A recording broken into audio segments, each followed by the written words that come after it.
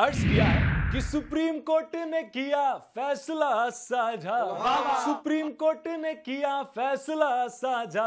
बनेगा राम मंदिर, आएँगे राम राजा। बनेगा राम मंदिर, आएँगे राम राजा। जी हाँ नमस्कार, मैं आशीष, आप सभी का तय दिल से स्वागत करता हूँ ऐसे न्यूज़ की तरफ़ से।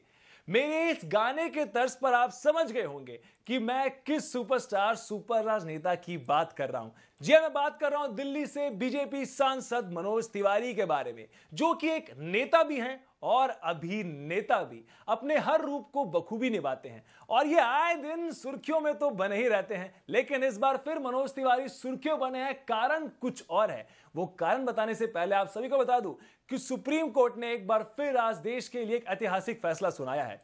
राम जन्मभूमि बाबरी मस्जिद विवाद, जो ना जाने कितने सालों से चला आ रहा था, आज उस पर सुप्रीम कोर्ट ने अपना फैसला सुना दिया कि विवादित ज़मीन रामलला की है। मुस्लिम पक्षकारों को अलग से ज़मीन दी जाएगी। इस फैसले का देश भर ने खुल के सम्मान किया। और इसी के साथ साथ हमारे सुपरस्टार सुपर राजनेता ने भी स्वीकार किया। लेकिन जैसा कि मैंने कहा कि ये सुपरस्टार हैं सुपर राजनेता हैं तो फैसला स्वीकार करने का अंदाज भी अलग होगा। तो आइए ज़्यादा ना बोलते हुए आपको दिखाते हैं मनोज तिवारी का राम मंदिर पर एक नया अवतार।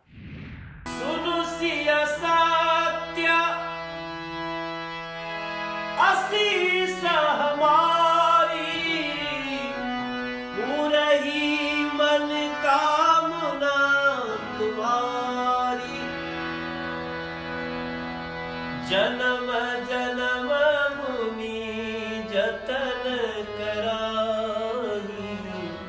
अंतराम बुझ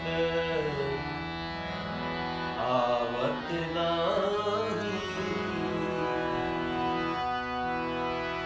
प्रविशि नगर की जय सबका जा। प्रविशि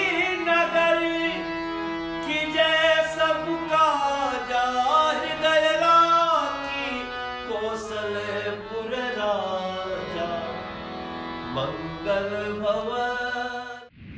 तो देखा आपने, कैसे मनोज तिवारी ने सुप्रीम कोर्ट के फैसले को अपने एक अनोखे अंदाज के साथ स्वीकार किया।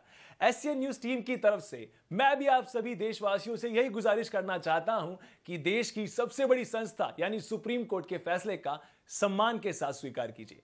अभी के लिए इतना ही, मैं आशीष झा एससीएन न्यूज़ धन्यवाद।